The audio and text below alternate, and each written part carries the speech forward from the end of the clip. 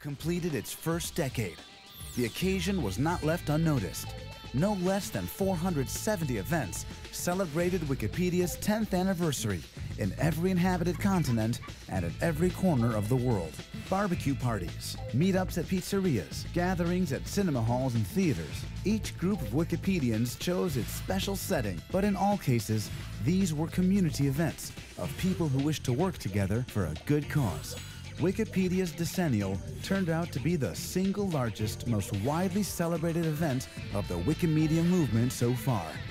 During the past 10 years, Wikipedia has come to mean so much to so many people. It brought together millions of people who have this thing in common the belief that free access to knowledge is something every human being deserves. Today, Wikipedia receives 400 million unique visits every single month. It has 18 million articles in 270 languages. Wikipedia is the fifth most popular web property in the world. Thank you to all those who contributed and keep contributing, to the editors, the donors, and supporters. Thank you to all those who believe in our mission and help us walk this challenging path.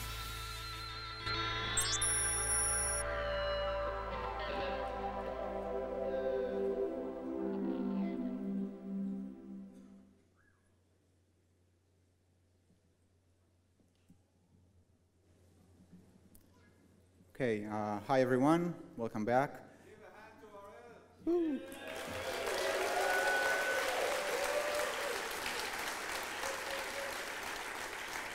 Thanks.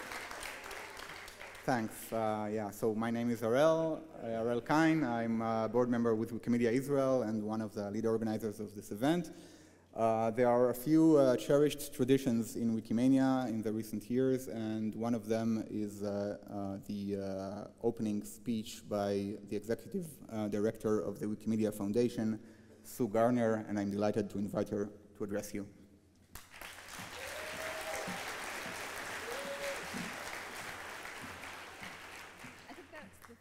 Is my mic on? Yes.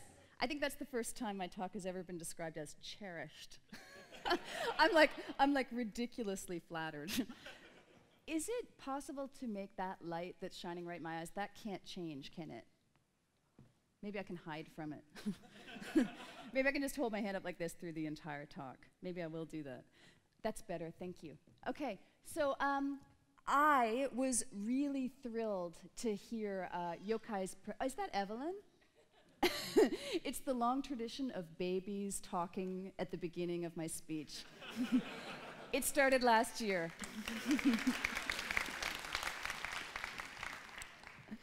so um, I loved hearing Yochai.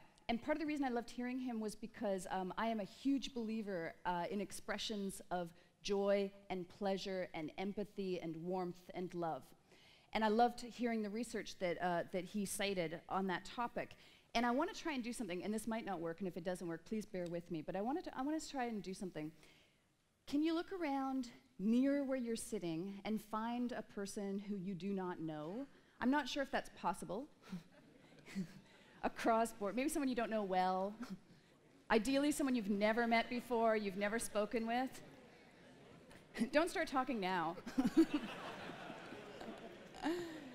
I'm going to ask you to do a thing, okay? So my father is an Anglican priest, and uh, he has uh, involvement in a, in a, in a Spanish originating uh, uh, Church of England tradition called Cursillo. Cursillo is all about the expression of joy. A lot of it is about the um, informal leadership, giving voice to informal leadership, and um, expressing joy and pleasure in each other's company and sharing peace with each other. So I'm going to try and do something that the Cursillo folks do, which is I'm going to ask you to find that person who's near you who you don't know, Exactly, Brian has it. Find the person you don't know, touch them, shake their hand, give them a hug, something, and tell them why you came to Wikimania this year and what you hope to get out of it. the board has to do it too. Come on.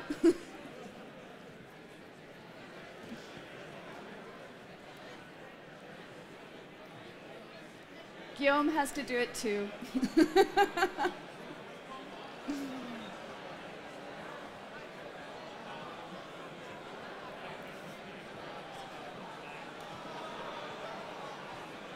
hug each other.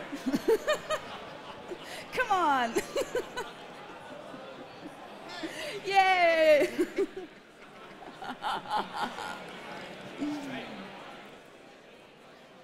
All right, that's enough.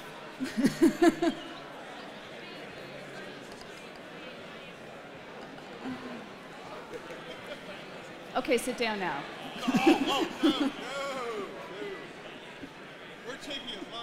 Help me make them stop. That's enough love. Sit down.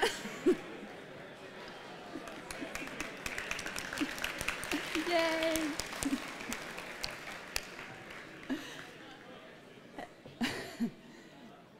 I, I forgot when I thought about that that if you give Wikimedians an opportunity to talk, they will take it. so we're 15 minutes back late from the break, and then we're going to talk a little more. okay, so um, we are actually a little bit uh, late back from the break, so I'm going to try to um, tighten up my talk a little bit. And before I start talking um, officially with slides, I'm going to say that uh, this is a hard talk for me, right? Jimmy sometimes um, says that when he speaks at Wikimania, it's the most stressful talk he gives all year. And the same is true for me. You guys are a tough audience. Um, and the purpose of my talk, it's a bit of a, it's a bit of a sort of a tough purpose too, right? Because what I'm doing here is my, my role on the stage is to provide accountability to you, right? You are the stakeholders, you are the constituents, you are the partners, you are the colleagues and friends of the people who work at the Wikimedia Foundation. And so my purpose in, in, in coming here is to, it's an accountability exercise. It's for me to say, here's what we did in the last year, and here's what we're planning to do in the next year. And then what happens is the board comes up and you get to pepper them with questions, and I sit down. it's lovely for me. Um, but but the reason it's tough for me is because uh, uh, I, I want to give you a lot of data, right? I want to give you a lot of charts and graphs and numbers um, because I want to be accountable. But at the same time, that kind of stuff doesn't really go over that well in, in, a, in, a, in a presentation, right? I would actually rather tell you stories. I am more inclined to tell you stories. So I'm going to try and do some kind of hack between telling some stories and showing some numbers. Um, and, and as a preemptive measure, I would say that if you're interested in, in more information than you're going to get out of this talk, I would send you to the Wikimedia Foundation website. The annual plan, the 2011-12 annual plan is available under financial reports on the left nav, and you should go there and there'll be much more information there than I'm able to actually present in a brief period here, okay? Um, I just want to put out this, I thought it was funny.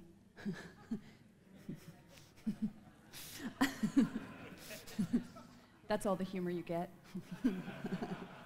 Welcome to Haifa.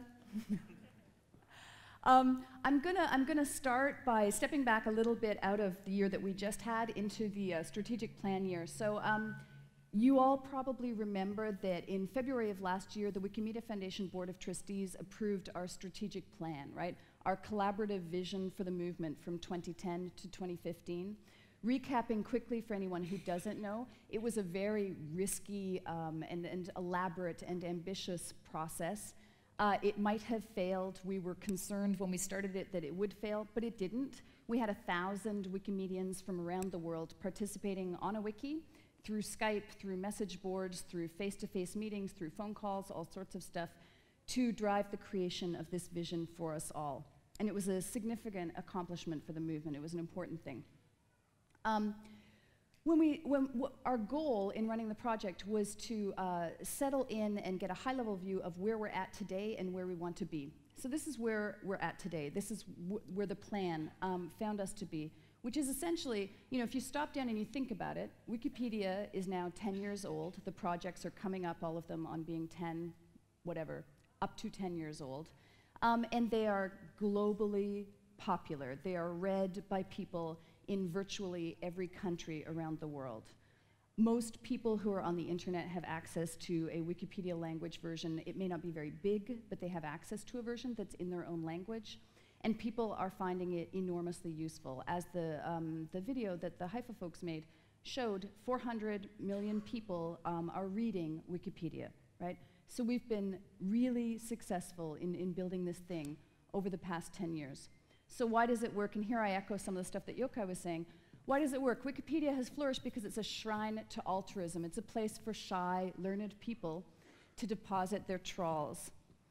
It represents a belief in the supremacy of reason and the goodness of others. And it works because the people who know the truth, Cass Sunstein, the people who know the truth are more numerous and more committed than people who believe in a falsehood. Last year was our 10th anniversary, January was our 10th anniversary, and I was really delighted to be talking in New York to a French journalist who said this to me. She said, Making fun of Wikipedia is so 2007.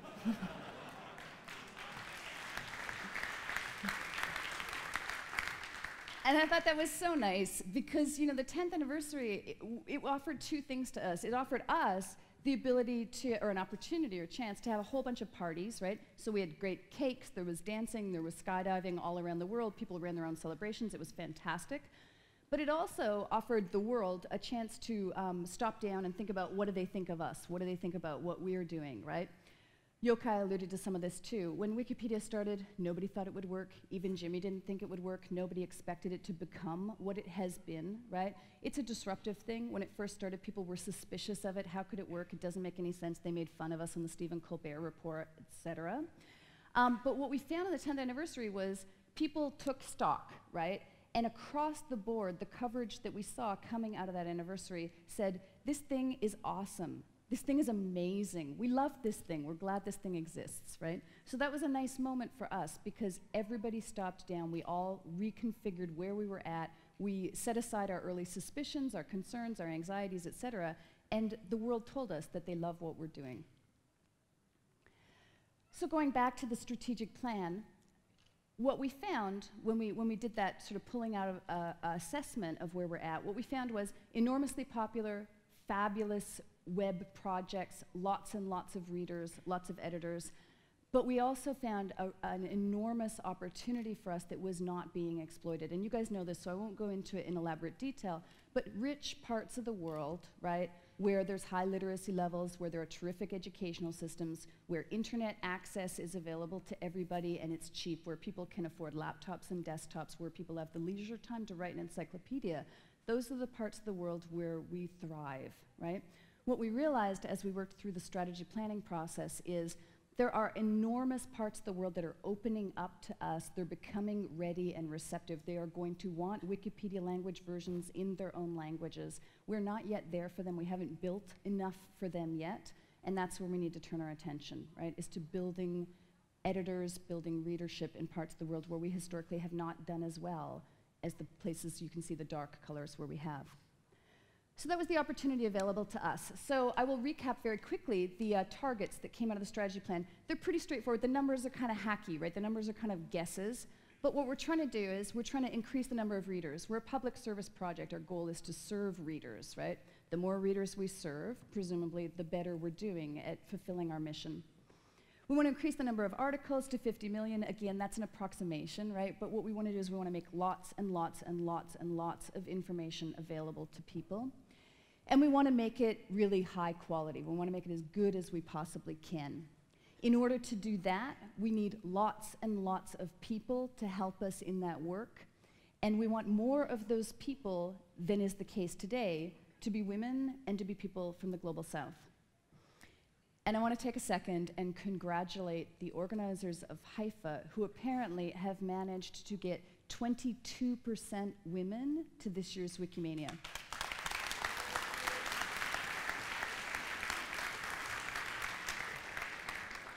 Because I remember Taipei, and so does Florence. I remember Taipei and the WikiChicks lunch, which was 11 people. it was 11 women. so that's what we're trying to do. So I'm going to recap last year's results. Very quickly on the money. The money was great, right? We made lots of money. We made 50% more money than the previous year. The money is important because if you're angsting over money, you can't focus on getting your work done, right? So we made enough money to get our work done. And then I'm so sorry about this slide, right? Because like it's a big, dense, ugly piece of crap. I'm sorry. And Jan Bart was laughing at me when he saw it. It's embarrassing. But I will, you know, it's an accountability thing. I have to walk you through some level of granularity, and I apologize. Um, the 10th anniversary celebrations, they were terrific. We uh, last year started doing new editor outreach work in India. I think Hisham Mundol is probably here somewhere, and he's now hired a couple folks to work with him on that. We're started to, we did start to lay the groundwork for a similar kind of editor recruitment work in Brazil. The Virginia Data Center, Rob Halsell is here somewhere, the Virginia Data Center up and running. Rob has moved to Virginia. Uh, the Public Policy Initiative, which was funded by a restricted grant from the Stanton Foundation, the Public Policy Initiative uh, was a project designed to persuade professors to assign writing Wikipedia articles as classwork to their students. We know that editors have always been, you know, grad students, undergrad students. So it seemed really obvious to us if we could persuade professors to assign article writing as coursework, that might be some kind of beautiful symbiosis of the right people coming together and getting really important stuff done. We did not know if it would work. We ran a big project, 17 months. It did work. They added 1.8 million bytes of text to the English Wikipedia, and the quality of those articles, which was uh, determined through an extremely complicated algorithm, increased 140%. So that was a success. That was good work. Um, the upload wizard became fully deployed on Commons. Did someone clap for the upload wizard?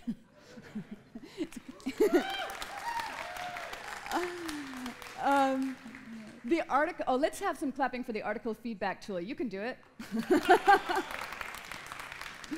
the article feedback tool deployed in the English Wikipedia. Mobile front-end extension Dark launched field research, lots of field research conducted into mobile usage. ResourceLoader fully deployed to all the projects. I like this. This is useful information for me. um, WikiLove. English, Hindi, and Arabic. If you ask for it, you will get it. Um, offline, we developed tools for offline distribution of Wikimedia content, including an improved cross-platform reader application.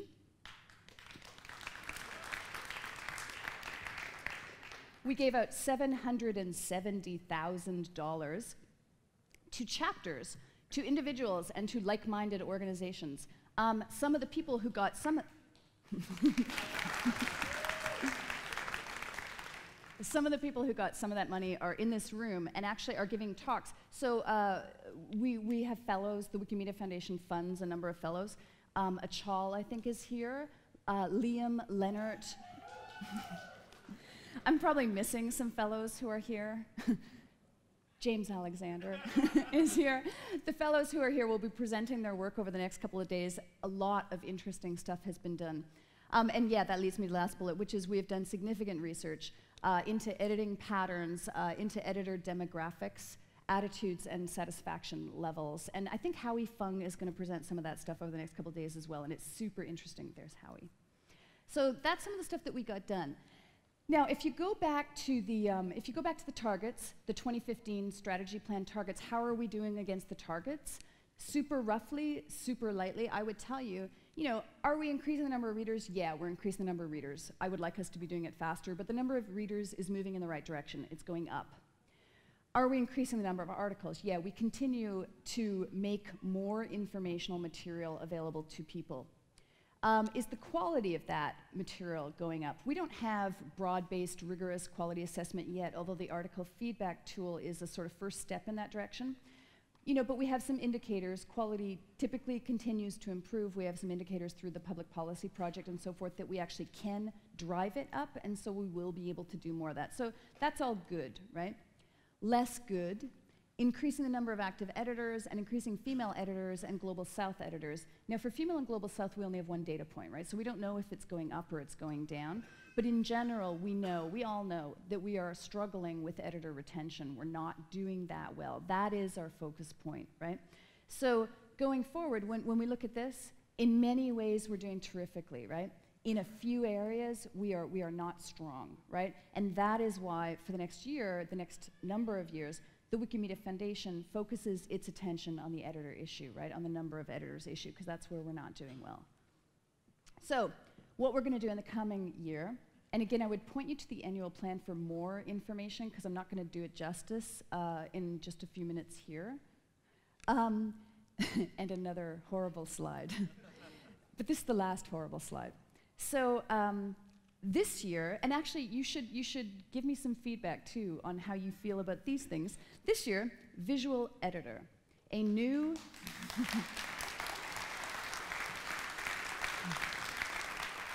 the louder, the louder you clap, the harder Brian will code, right? we really want it. so yeah, the visual editor. We, we remember those of us who saw, who remember the usability videos from a couple years ago, right? PhDs, wonderful, brilliant people trying to edit Wikipedia and just like recoiling and freaking out, right? So we need a no markup default editing environment. Um, new editor retention features.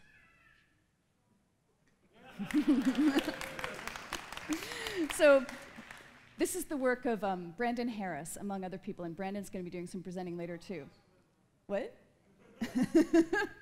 um, so this is experimental features designed to make on-ramping easier and more fun onboarding of new people and to improve interactions between new and experienced editors. So one example of the kinds of things that we have done um, is WikiLove recently, right? More and more and more and more of that kind of thing. A lot of that work is going to be experimental. It's going to be exploratory. We're going to do some stuff it's not going to help. We're going to do some other stuff. Surprisingly, it will help, and we will do more of it.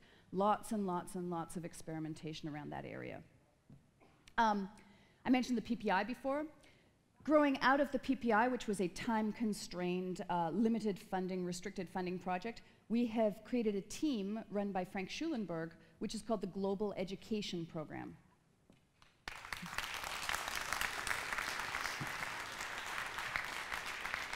So the purpose of, of this group is, again, you know, students are the fuel of Wikipedia, right? When we persuade professors to assign article writing as coursework, it works terrifically well. It works because um, students like Wikipedia, they think it's cool, they think it's fun, um, they like writing for an audience that is bigger than one professor, right? And their professors like it when their students are engaged, and some of their professors like to be seen or to understand themselves to be innovative or inventive. So there's something in it for everybody in that, right? It's worked really, really well. It also requires ambassadors, Wikipedians, to act as ambassadors, which it turns out that Wikipedians are, Wikipedians are really good at coaching other people into how to do that work. So the PPI worked. We're going to spin it out, and we're going to continue doing that same work, mostly in India and Brazil over the coming year, and also Canada, Germany, and the UK. Um, mobile.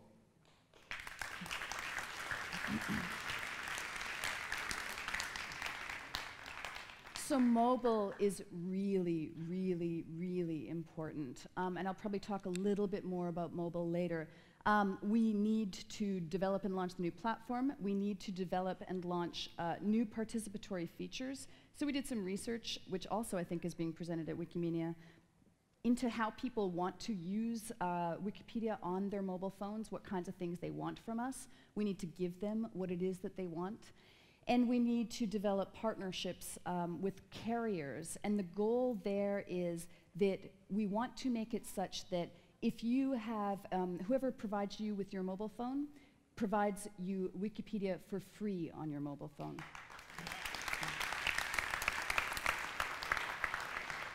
because education is a human right. Wikimedia Lab, oh, I'm sorry, I skipped. India, Brazil.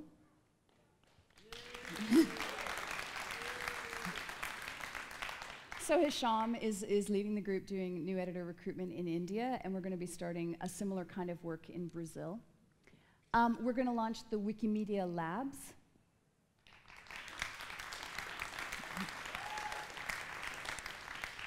purpose of that is uh, we, we, we cannot and we do not want to do everything ourselves, obviously. We want it to be possible for lots and lots and lots of people to work with us to do their own research, their own experimentation. So that's the purpose of the labs. And then we're going to put um, some sustained energy for the first time towards internationalization.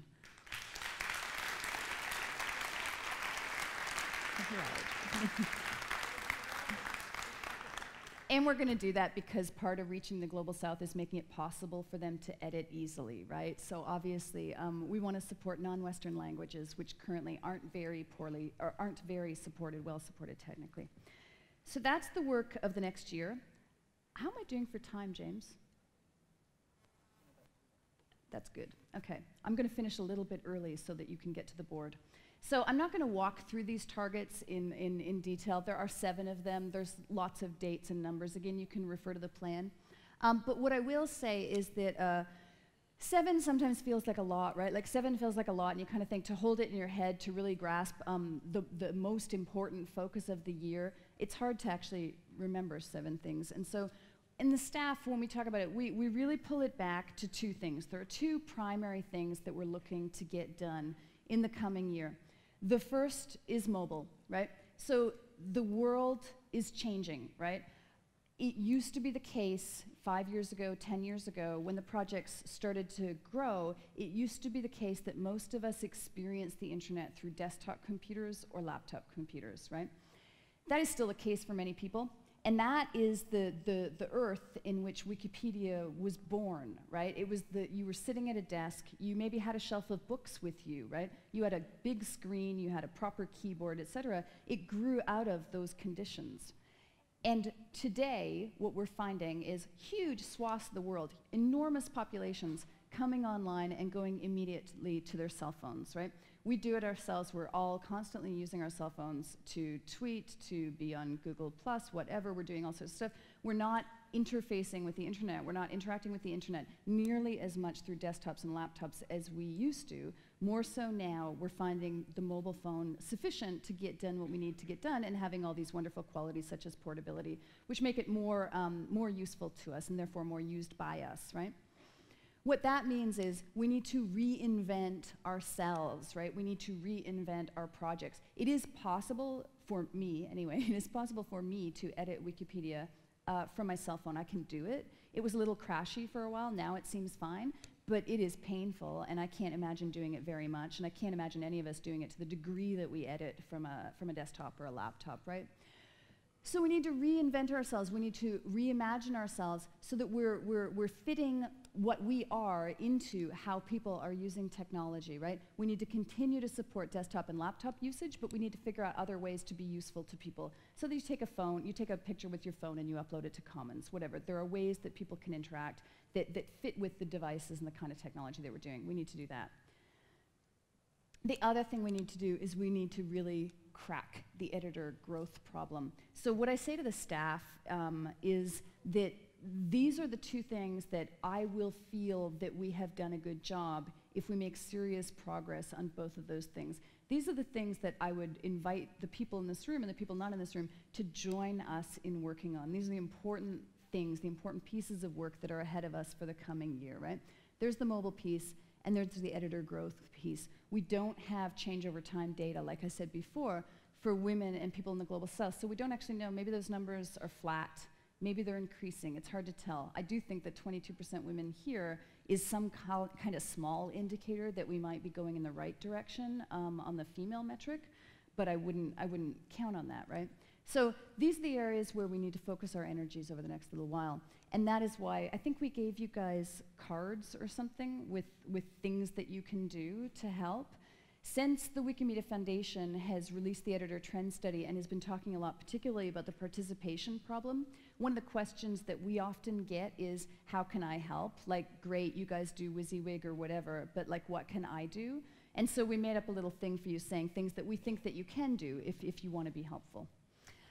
So I thank you on that note. I invite up the board and uh, enjoy the next couple of days together here at the conference.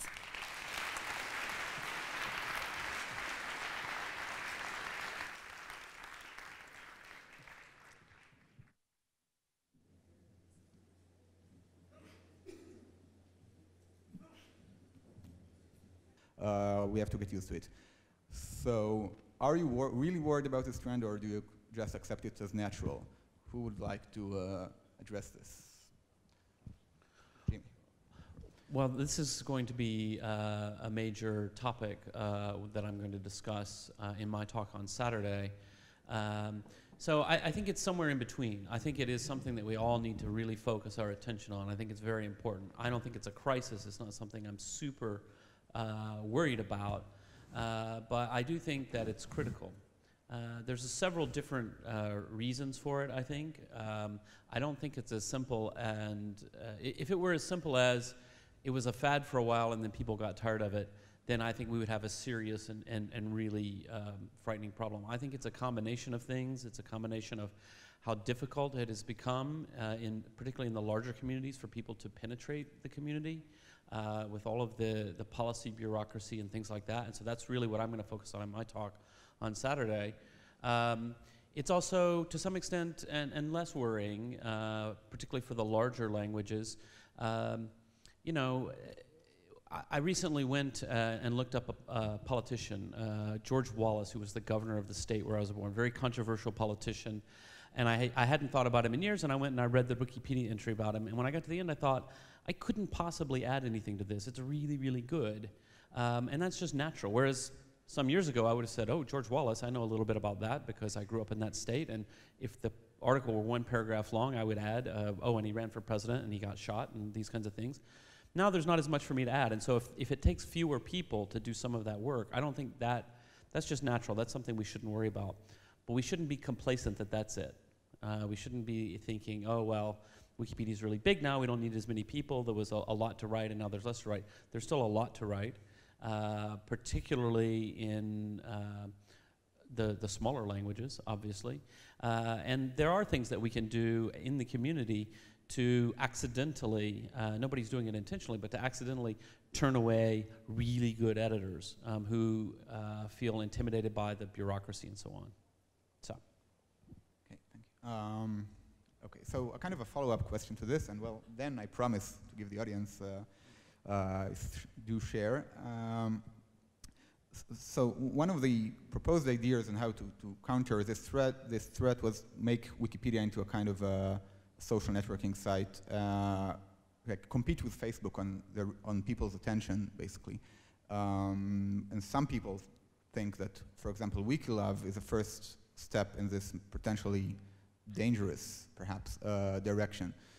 Uh, so do we want to make uh, our projects kind of a social networking site where uh, actually editing is uh, a distraction or what's your take on this, Phoebe? Well, I'll answer your first question, not that question. But for the first question, we want to be around for the long haul, for the long term, for our children's children. And that's why we need a vibrant and healthy editing base well beyond us, well beyond our work here, well beyond our lifetimes. We need to think about the future. And for me, that's the, that's the question about editor trends how do we, how do we keep this going for forever? Um, for social networking, I don't know. Yeah. So you, you just heard uh, the, the speech of Professor Benkler, and one of the fly, uh, one of the slides he showed is be human, speak like a human, right? So I think this is a good idea. Okay, so now as I promised, let's take a question from the audience. Yeah.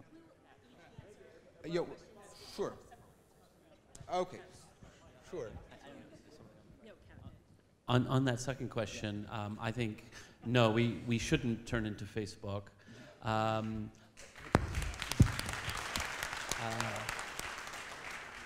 uh, I, think one of the big trends, I would say, in the last two years uh, in, in the internet world, in the world of, of internet development, uh, has been this uh, concept of game mechanics.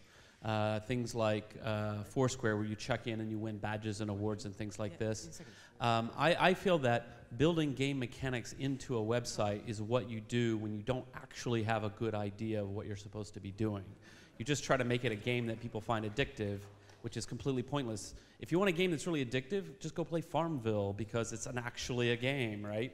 Um, I, but at the same time, I think we should not be so resistant to the idea, oh, and fear that, oh, we're going to go in that direction because we're not, to identify things that we can do in the software to make being human a little bit easier. Uh, one of the things that people like to do, people have always done in Wikipedia, is thank people. Um, I think uh, this started in the English Wikipedia with barn stars, although it may have started in German Wikipedia with gummy bears. Um, but we've always done this, only in order for me to thank you, I have to go and learn about templates, you know, and I have to know which template to do. It's, it's you know, I see these beautiful notices and, and I don't know how to do it. So the, that's the concept of Wikilove. Let's make that easy. It's something we know people want to do. Uh, they want to be prompted to do it. And that, that doesn't mean we're turning Wikipedia into a game. It's identifying behaviors that we want to do as human beings, and we just make sure the software uh, gives a pathway for making that easy. Kat. So, for, for the people who have been around for a long time, uh, it seems like there's been a lot of a change in the way that people think about and talk about the projects. You, if you were around in the early days, 2001 up to maybe 2005 or so, Wikipedia and the Wikimedia projects were kind of this cool new thing that you were involved in, and maybe you were kind of a nerd, but people talked about it as this little niche in interest. You had something in common with the people who started early because you were an early adopter of this thing, you had something in common with everybody who was doing it. And you talked about it, it was new, it was exciting, it was fun, and gradually it's become something that's just part of the internet. Like, it's a site that you go to, everybody knows about it. Maybe there isn't really anything new and fun about it, and I think it uh, hasn't been as exciting for people. Maybe you're not as excited to join the projects when you know it's just part of the internet, it's always been there. It's strange for me to think about actually being part of the last generation of people to grow up without Wikipedia to refer to in school. Mm-hmm. that kind of amazed me. It made me feel a little bit old, actually. But so, how do we make it exciting again? And that's something that I think that the social network part uh, may actually help with. How, how do you make it exciting to interact with the project again? If you know that when you start it, you're going to uh, open up your universe to a world of people who have uh, something in common with you, who have something to share with you, that you're giving something to them and they're giving something to you, I think that's really exciting, and I think that might drive more people to participate. So I hope that those features will do that. Uh, people criticize the WikiLove feature as like, oh, it's going to turn into Facebook, it's going to turn into social networking. And if you don't think that everything is a little bit of social networking, you haven't, just haven't been looking at what's going on around you. Here.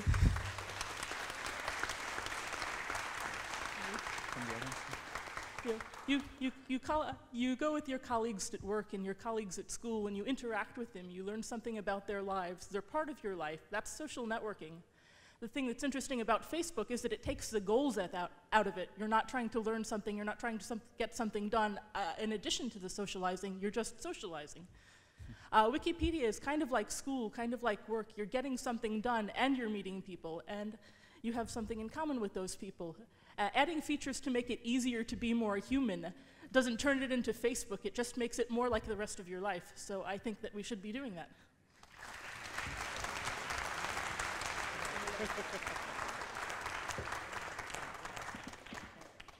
Uh, hello. Okay, I have a. I'm way back here. Uh, yeah. So I have a question about uh, a different kind of growth, not necessarily in terms of editors. It's not just that editors sort of editorship mostly plateaued uh, in 2007. There are also the sort of scope or breadth of the project has also been stable for about as long in terms of in the sense that there haven't been any new wiki projects added since 2006, is that right? When the last one was added. So in any case, it's been a long time. Um, there are a series of, uh, meanwhile, there's a lot of people doing interesting work uh, under free licenses and even on wikis out there. There's a number of really great genealogy wikis. There's a, a, a bunch of work on uh, sort of academic articles and AcaWiki and a series of other places. Uh, and a number of these have actually been sitting as proposals uh, in the sort of new project proposals, but that process has been stalled. And so I wanted to know what the foundation is, uh, the plans are to help push that process along or uh, to how they want to handle the idea of growth in terms of new wiki, pro wiki projects or in terms of scope. Okay, um, I'd like to choose. Sam? That, that's a great question. I, Phoebe and I were on the special projects committee when Wikiversity was proposed as uh, basically the last new project that we created. And at that point, the foundation didn't want to make those decisions, and there was some confusion about how the community would go about it, and it was delegated to a committee. And and it was a very long, drawn-out process. There was a lot of a, a, lot of discussion back and forth between Meta and and these private mailing lists. And um, for sure, today we don't have a clear process for how new projects get started. I think this is one of the most important ways for us to grow and actually one of the most important ways to address issues of editor involvement. There are people taking part in so many collaborative knowledge activities online. Uh, the vast majority of them aren't covered by encyclopedic knowledge, and, but they're all, they're all knowledge, and they're all things that matter a lot to people in the world. So I, I think we, in addition to being human and connecting and helping connect with one another, we also have to be good listeners and observe what people are, what knowledge people are sharing from their own lives, how they're capturing the things that they learn, and finding ways to, to facilitate that. Uh, this, this came up in our discussions of movement roles that's been going on for, uh, for the past couple of days as one of the issues that isn't really picked up by the foundation or by chapters. And uh, it's actually a topic on the agenda in the Al Bell room at the end of the day. So there's, there's a nice proposal for how to have, uh, how to have a procedure to assess what projects contribute to knowledge and how large, like what that scope is, who the, who the audience is. Uh, in addition to whether people can have something to contribute, there's the question of uh, how universal the knowledge is disseminated. Just to go back to Yochai's awesome presentation one more time, he was saying that some of the most valuable aspects of society, some of the real strengths of our society, are distributed everywhere. And there are some aspects of knowledge which are also distributed everywhere. Genealogy, for me, is the best example. Uh, the, uh, the question of the genealogy of, of our generation is something we could solve in five minutes if everybody just contributed what they knew. And yet, uh, having proprietary databases that store this and share it is, you know, a multi-billion dollar industry. That's uh, everywhere, everywhere except Iceland. So that's ridiculous. We can fix that. so I, one of the things uh, that I think is interesting here is to take a look at some of the projects we have. And uh, let me just say very clearly, I'm not speaking on behalf of the board, and I'm actually giving a personal opinion that I think I've never said out loud before. Um, but when we look at certain projects, uh, one that's very near and dear to my heart is Wikinews. And Wikinews has not been the success that I think it could have been. We live in a, a time when the Huffington Post, by at least one measure that I saw, now has more traffic than the New York Times. And yet, the Huffington Post, while it is largely community generated and it's a really interesting model, it's not high quality like we would aspire to. It's not neutral. Um, a lot of their traffic comes from quite inflammatory headlines, uh, sort of uh, click trolling and things like this. Or so it's been said. I'm not making this criticism, I'm just repeating what I've heard. Um, some say. Um, citation needed. Um, but when I think about this and I think about, okay, well, what does Wikinews need and what can the foundation provide? And the truth is, the foundation has never provided very much to Wikinews. We're very focused on uh, Wikipedia, we're lesser focused on, well, let's say Wiktionary, for example, another project that has certain needs that the foundation has not been very good at providing. One of the concerns I have about what uh, Mako was asking is if the foundation starts a new project, without sufficient resources to really commit to that project, it may actually crowd out more innovation that should be happening elsewhere.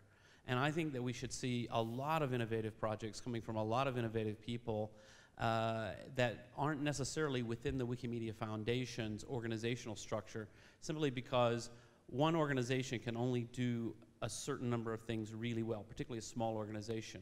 So I don't think it would make sense to me that the Wikimedia Foundation should be directly starting a whole bunch of new projects that it's then going to neglect. I think instead, what I'd love to see is the foundation being more collaborative with uh, young, interesting projects, uh, young people who are starting new projects, even to the point of, at some point, sharing some of our wealth, um, doing some grants for uh, different things, or partnership grants with, say, the Knight Foundation, who likes to fund this kind of new media stuff. Those are the kinds of things. We could be a player in that space without crowding out that space by launching projects because they sound cool that we're not really going to support. So again, I've never talked to anybody about that on the board, but that's just my personal view that we want to be really careful. And, and so I wouldn't be supportive of an idea that the, the foundation should start, start 20 new projects next year. Um, instead, I'd like to see 20 new projects start or 100 new projects start somewhere and for us to find ways to help them and support them. Plus one.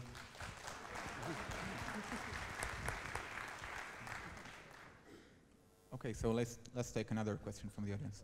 Um, hi, uh, there's a lot of communities, um, Alex Dunson from DC, there's a lot of communities of online contributors that are present in the global north um, that are kind of dispersed and haven't organized around chapters or GLAM events or ambassador program. um, and they're kind of getting neglected in real life uh, in compared to their online contributions. And I was wondering what the board's position was on promoting either chapter formation or some types of organizations outside of um, just the online community.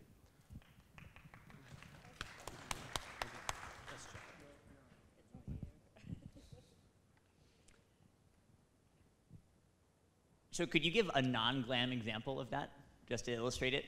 I uh,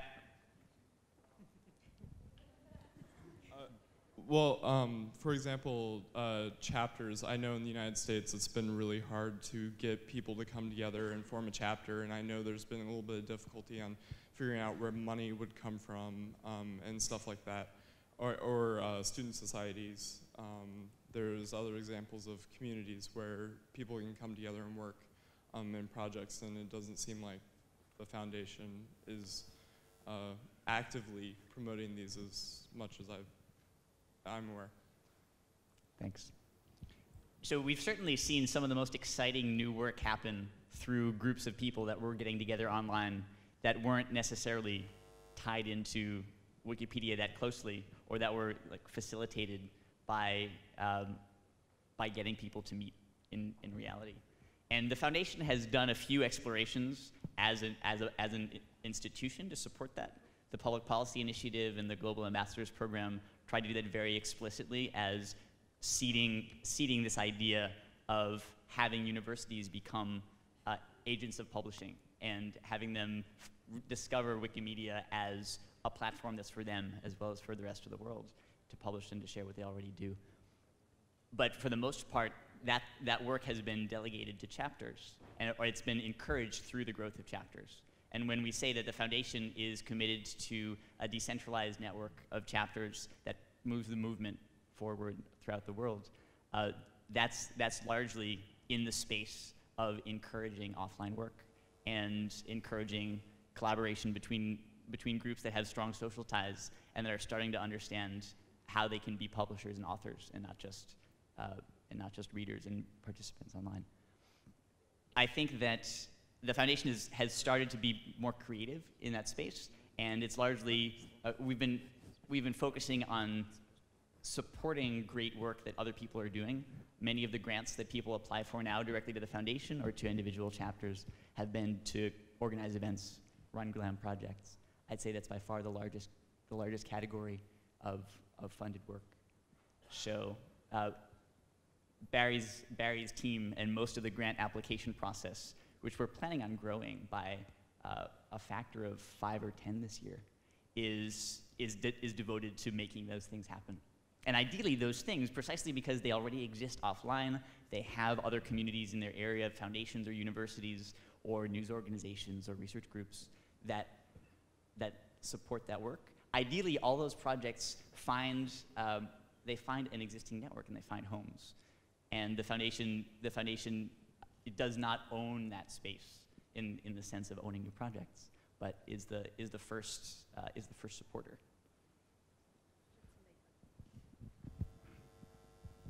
And also, just to add to what uh, SJ said, the, the whole movement roles process that we started last year is around how to organize this movement in a decentralized way and find other ways than just the foundation or chapters to actually do stuff in a self-organized, uh, self-responsible way to uh, help us all together come stay innovative and not uh, tapping into the in, into the trap of having trying to us as Wikimedia Foundation trying to do everything on our own uh, and then leaving not enough space for others to come up with creative ideas. Uh, I, I, want to take this topic a bit further and ask Stu, uh, like a few days ago you posted on your weblog uh, a post about where you, where you raised some concerns uh, about the foundation's ability to cooperate with so many different chapters out there financially, where you put the uh, fundraising uh, model that we currently have in question. and I would like to know what you would suggest is a better alternative for running such a big movement and in, under such a very complex international organizational structure. Uh, so we would like to hear you on this and maybe the others too, so of course. Yeah. yeah, you know, I think the, the, the first kind of backdrop to this is over the last five years as a community, we've come into a lot of money. Right? Five years ago, I think our fundraiser raised one and a half million dollars. Um, last year, in total, between the chapters and the foundation, we raised almost 30. That's a 20 times increase in the amount of money that is available for us to pursue our mission. And that's a wonderful, wonderful luxury and an incredible position for us to be in. Um, but I think it, it also introduces some challenges, right? I think as all of us know, right, money is a complicated thing. And it introduces new challenges, new sets of motivations, and new issues. And so to me, the sort of the high level principle around this issue is we've got to evolve how we think about this with the amount of money that's floating around um, because it does change things. Um, but I think for me, the core principle, the thing that matters more than anything else, is that we've succeeded because of this decentralization. And we've succeeded because of this idea that we have lots and lots of different groups of people, individuals, informal associations, chapters, who do amazing work. And you know, the principle for me is that whatever money we as a movement have should flow to those parts of the movement that can best use it. Um, and it doesn't really matter who that is or what the structure is or whether it's this or that or the money flows this way or that way. Ultimately, the money should go where it can best help us achieve our mission. And that's the ideal, which I very passionately believe. And I think, you know, everything we do has to be oriented around protecting that decentralization, protecting that independence of all the different parts of our movement. Now, the challenge at the same time is that, you know, we operate in a regulatory context. There's all sorts of rules and laws that apply, both to international flows of funds, which are really complicated, and I know we're all figuring out as we go, to uh, each of the different entities that operate in different countries that might be nonprofits or might be associations or might be companies. Right in the U.S., we're a 501c3, which brings with it a whole set of kind of rules and challenges that we have to manage around. So you know, I think to me the high-level principle, and I don't, I don't have the answer uh, as to how we should do things. I, you know, I, I think we're all going to have to figure that out together. But I think the principles are we have to protect that decentralization. Um, we have to make sure money goes where it can have the highest impact. But we have to operate within the regulatory context of all the countries we live in. And I think that's the challenge that I think over the last year we've, we've because we have more money, we start having more regulatory issues. And I think that's where some evolution of how we think about this has got to happen. And I think we're all going to figure that out together. The board's doing some thinking about it now. I did a blog post, got a lot of great ideas and feedback from people. But again, the principles are what matter, and I think that's what we've all got to try and we've all got to try and protect. So I wanted to add something. Okay, so I think one of the things that unites some of the ideas in Stu's blog post, as well as the movement roles work that we've been doing for a year, is actually the underlying idea of accountability. And not just financial accountability, but in the movement roles work, really looking at what it means for different entities, whether it's the foundation, whether it's the chapters, whether it's any other proposed new forms of informal or formal associations, what does accountability mean both programmatically, financially, and in other ways? So this is something that I think is underlying this. We're clear on this? Okay, so let's take another question there. Okay, uh, Hauke from Germany and with the Open Knowledge Foundation. Um, so I'm, I'm a student at a university and professors at my university are still very uh, they always say, okay, you can't cite Wikipedia, uh, don't use it in your essays, in your thesis, everything. Um, but yeah, yeah. What do you what do you think of that? Um, and where do you what do you do? Um, are you trying to persuade uh, professors, or do you think okay they will get it at one point that that you can use Wikipedia that it has an established and good point of view and it's high quality? So one thing that I found interesting in the last few years working on this, working, so I'm an academic, I work in a university, and talking to academics over the course of the last few years, it's like Sue's point with journalists. Um, I think that things are changing in the academic world. And now we are seeing um, a very different relationship with Wikipedia and academics um, overall. Um, people accept Wikipedia as part of their lives, as part of the information universe.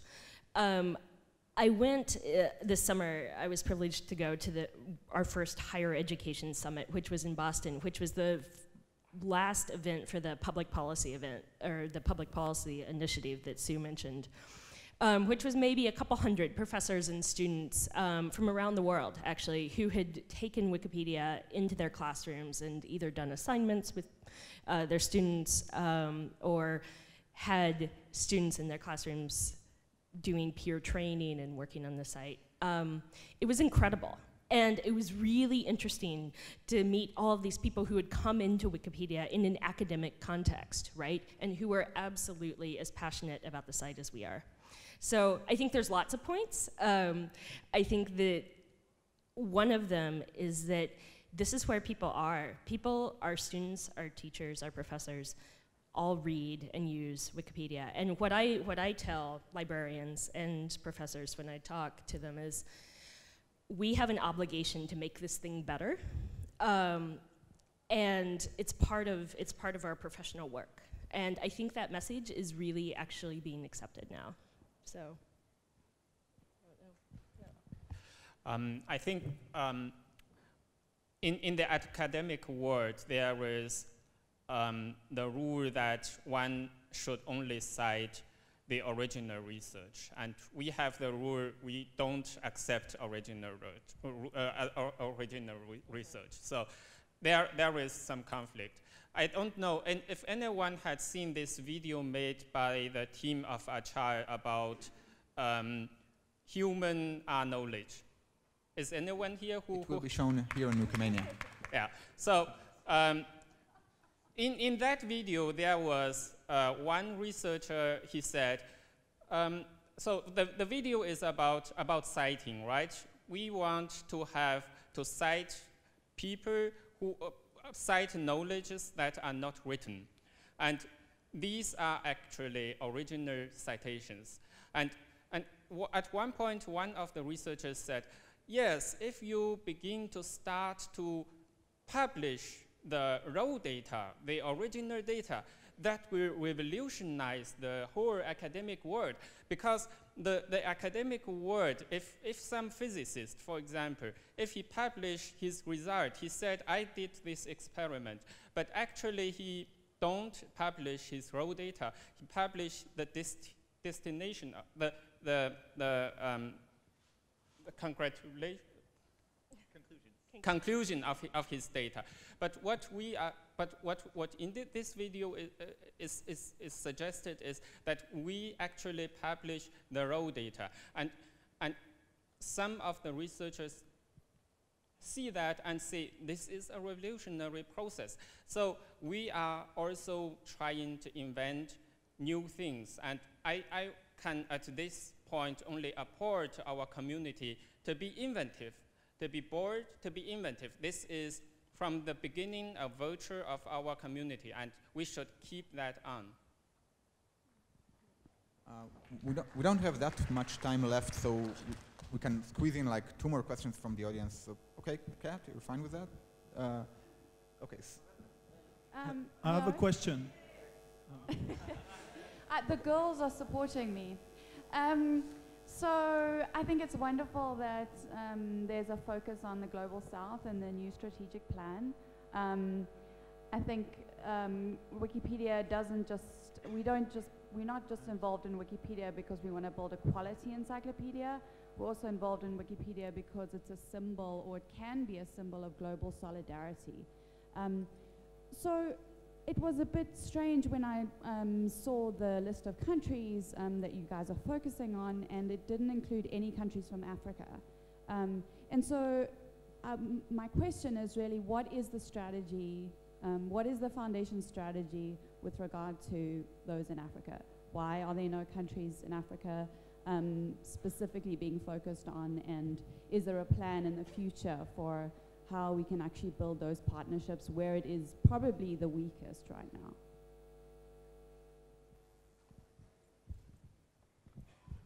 So um, if um, in, in our strategic uh, planning, we had indeed mentioned Africa in Global South. And Africa is, uh, is a critical point for us. And for example, I was in Kenya this, this January and uh, visited our Wikimedians there and celebrated the Wikipedia, Wikipedia 10 with them together. And um, it is, it is um, Africa has, has uh, specific um, issues like lack of infrastructure. Lack of infrastructure is something that we cannot fix by ourselves. But what we can do is support our communities there. Uh, the, the Kenya community, for example, distributed uh, wiki, offline Wikipedia to the schools, to the rural area where there are no infrastructure on internet. And what we can do is indeed to support them, give them grants so that they can do that work, uh, be there, show the media that they have our support, and maybe in 10 years, in five years, the infrastructure is in Africa is also increasing. I was there, I saw that. Um, people told me that more and more villages are coming online, and at one day we were just go there, and when, when, when the situation is ripe enough, we will go there. And, and we have uh, just uh, in this year approved our, our first African chapter, the South Africa chapter. Uh, South, South Africa is also one of the countries that is uh, in most mature in, in, in, infrastructure. And this also shows that we do have Africa in our mind, and we, we, we will give them as much as support as we, as we can.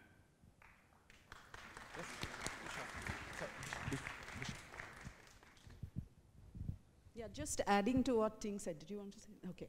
Um, just adding to what Ting said, I think this is my personal response. I think the issue for me, as somebody who's from the global south, is not the location per se. I think what's important is that work has actually begun in the global south, right?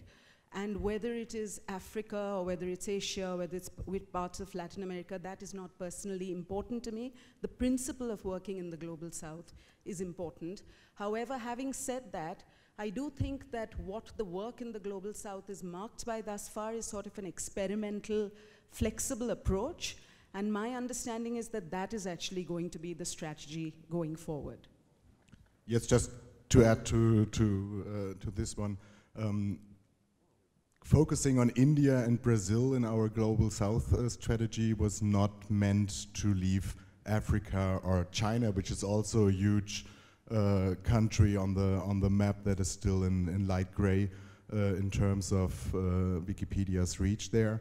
Um, to leave them out, but to focus on on those areas and to focus our attention uh, in a way that we actually can succeed there instead of trying to do single smaller steps everywhere uh, and being in the end not successful. And once we learned from our uh, engagement in uh, India and Brazil, we then can uh, come up with better ideas probably and hopefully uh, for India, for China and also Africa. Sam, let's take some other, like we're running out of time, so Celia. Hello. Uh, I've been waiting to ask since the beginning of the session. Uh, but the question I'm going to ask bothers me, I believe, for three or four years. I mean, since I joined Wikipedia, it bothers me every November when we have and that's the question of sustainability, but not just sustainability, financial sustainability of uh, foundation and of the movement as a whole. Uh, every year, we're collecting more and more and more money. Uh, and uh, I believe if we continue rising like that, by in 20 years, our annual income will be larger than world GDP. uh, so good goal, good goal. Uh, what I'm actually going to ask is, uh, are we going to run Zoe forever? And how are we sure that next year, when we will start fundraising, uh, we will gain enough money to run Wikipedia and uh, actually at some point the amount of money will not stop coming. I mean, like with articles, it started growing and growing quickly when we began, but right now we found that the rate of growth is slowing down. I mean, won't same happened with our financial resources and how we can be sure how that we can rely and that we will survive. I'm going to try that. so I think it was in Boston when Gerard asked Jimmy the question, what do you think we could do with a million dollars? And it's like, a million dollars. What are the odds we're ever going to get a million dollars? And it's like, would you, you would we take ads for a million dollars? We haven't had to do anything with advertising. We haven't had to do anything but write a really good set of knowledge in different projects to raise this amount of money. Strangely enough, every year there's more and more great ideas what to do with that money. So sustaining Wikipedia and all the other projects is one goal, but being able to provide more and more grants and being able to make people's ideas happen with just a little effort or maybe making an extra effort by opening an office those are the kind of things we can do with more money. So it's not just sustainability. I think we can do much more, and it's an opportunity. But the sustainability is also, the simple keeping the lights running, keeping the lights on the servers is also important, and it's part of the job that Sue does, is making a balance between those two. But the fundraising needs to have all those messaging in it. Okay. So just be quick, please, because we really are running out of time. So yeah, so so I just say sustainability is the most important thing, right? In the end, we all want this thing we're doing to be even stronger next year, 10 years from now, 100 years from now. And so the challenge is to move as fast as we can to achieve the vision we have, right? Making the sum of all knowledge freely available, which is a pretty big, ambitious thing to try and do but not overreach. And I think that's one of the things we spend a lot of time as a board, and Sue spends a lot of time on as our executive director, is how do we balance that? But I'll tell you right now, I think we could spend 30 million a year just on software engineering to improve MediaWiki, improve the interface, provide a lot more tools for contribution. Like, I think there is an incredible amount that we could spend money on to take our mission forward, but we just have to do it smartly. And I think that's what we're trying to do and trying to manage all of those trade-offs. I'd say one of the things that I like about our fundraising strategy is that, in fact, we have so much potential that we're not as aggressive as we have to be. We don't have to go and compromise our values to get people to give money to us like so many other organizations do. We can, we can uh, focus on the principles saying, you love us so much, if you give us a few dollars, we can keep going until uh, the end of time, basically. And with 400 million people reading it every month, uh, you know, some people can't afford to give, but many people do, and they do. And I think as long as that we continue to earn their trust and their respect and their desire to support that project, that will be sustainable.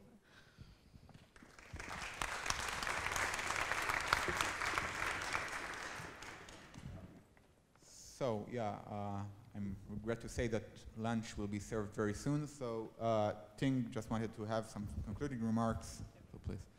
So um, you, you see that we, we are actually 10 trustees and you only see nine of us. Matt is absent.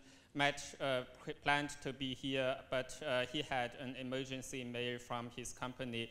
He must leave uh, today morning. Uh, he apologized and uh, we, uh, he is very sad that he cannot be here. Um, and we, we are also very sad that he, he cannot be here. That's one thing. the second thing is we are here, um, I think almost all of, uh, of us are here at the menu in the next three days. Um, some, most of us will take part uh, with you in the tours. So if you have questions, just ask us. Uh, we will give answers. I was uh, yesterday afternoon in uh, evening in the party, and someone uh, said, and people all said, "Oh, you are talking about fundraising," and but everyone was afraid to ask me questions, and I, I, I, had to ask them, do we, do we want to talk about this? And everyone said, yes, yes, yes, please. please don't be shy, ask us questions, you will get an answer, and uh, we will not bite. Uh, the last thing I want to say, and I promise this, is um, please do take part in the, uh, in the movement or discussion. It is really, really important. Lots of people do, doesn't uh, realize that um, most of trustees are involved in that. Uh, John Huggett, um, yeah, there, there he is. Uh, he is the facilitator. Please take, take time to talk to him. And uh, thank you very much. And enjoy your days.